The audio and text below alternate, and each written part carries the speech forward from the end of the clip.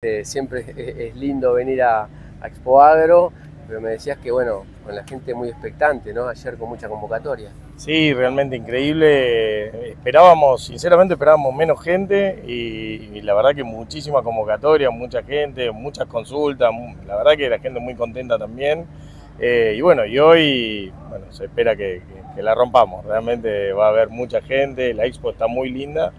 La verdad que comentarios de la gente eh, creen que mejor que otros años, así que bueno, la verdad que muy lindo. Bueno, y presentando que vemos que están con cultivos, pero bueno, este, obviamente ya preparados para que la gente venga y los visite, pero presentando que últimamente. Y bueno, estamos muy fuertes con biológicos, Claro. siempre fue nuestro, nuestro fuerte, pero bueno, hoy estamos realmente, son las, las, las vedettes realmente hoy. Eh, tuvimos mucha suerte porque inclusive en los, en los cultivos en el plot eh, nos dieron mucha, mucha chaucha, eh, la soja reaccionó muy bien, más allá obviamente que se estuvo regando, obviamente.